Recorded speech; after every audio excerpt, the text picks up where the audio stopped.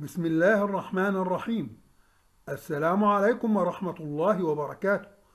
أهلا بكم في العرض الجديد من سلسلة وحلقات منوعة ومفيدة من صحتي بعنوان مجابهة علامات الشيخوخة المبكرة والحد منها.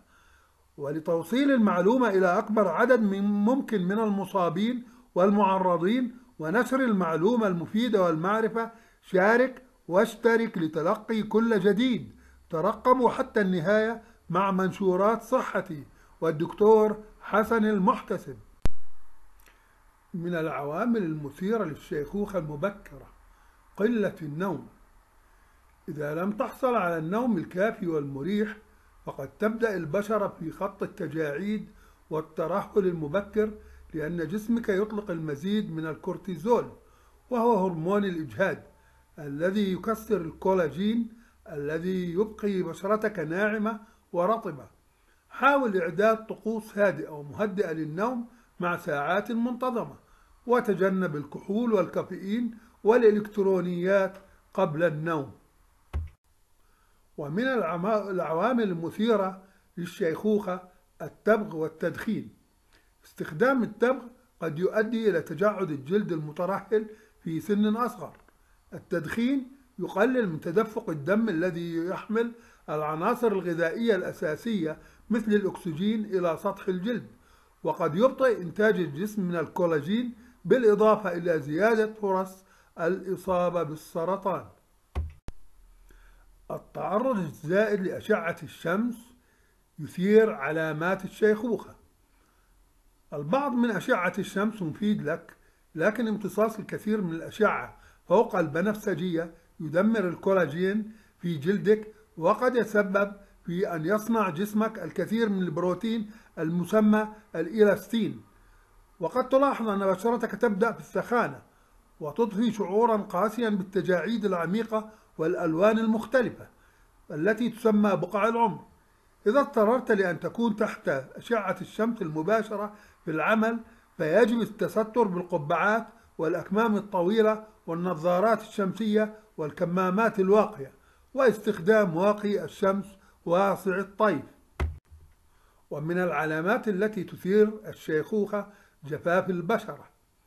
يؤدي هذا المظهر للبشرة الجافة القاسي والمتقلب لعلامات الهرم والشيخوخة وكبر السن.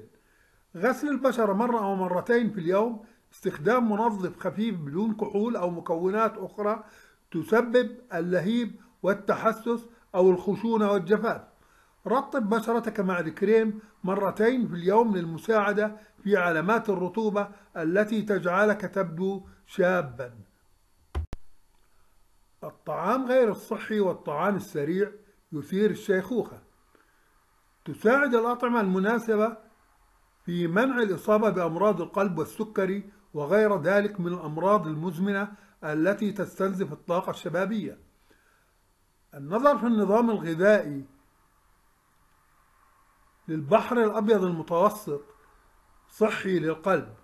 إنه لأمر جيد للعقل أيضا أن تضطر إلى خفض كمية قليلة من اللحوم الحمراء الدهنية وممكن أن تحصل على دهون صحية من الأطعمة مثل الأسماك والمكسرات وزيت الزيتون والأفوكادو والكثير من الحبوب الكاملة والفواكه والخضروات.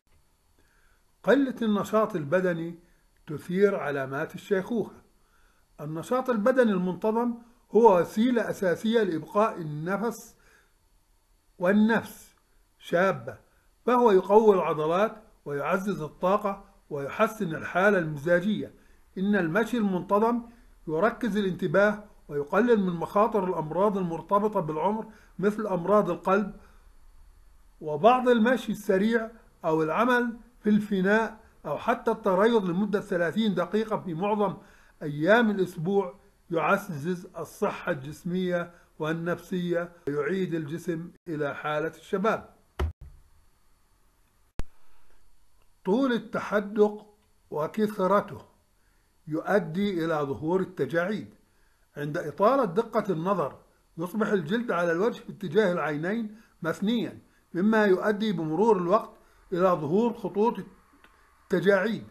في الواقع إن أي تعبير نقوم به مرارا وتكرارا يمكن أن يكون مشكلة.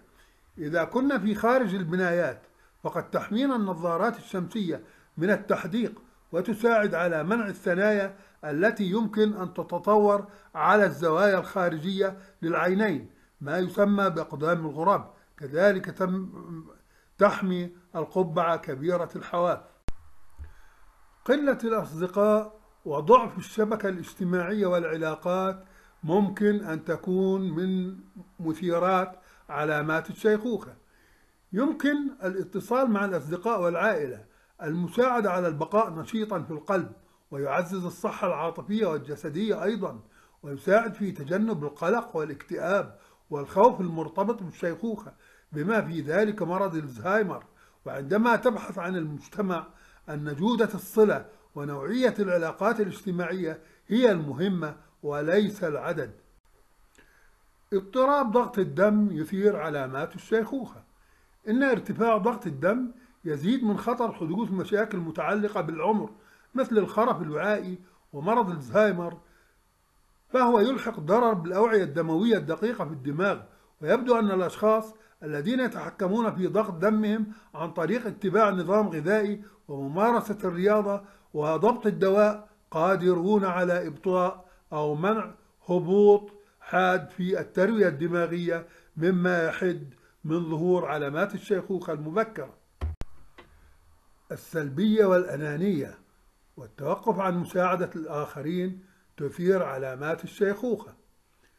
يطلق الجسم هرمونات المتعة أو الأندروفين عندما ننفق أموالا على أشخاص آخرين أكثر من إنفاقها على أنفسنا لأن الهدوء والسعادة والاتصال الذي نستشعر به عندما نساعد شخصا ما يجعلنا نكرر مثل ذلك الفعل مما يجعلنا أكثر هدوءا وسعادة ويقلل من التوتر وقد يساعد حتى على صحة القلب ويحسن نظام المناعة ودفاع ضد الأمراض.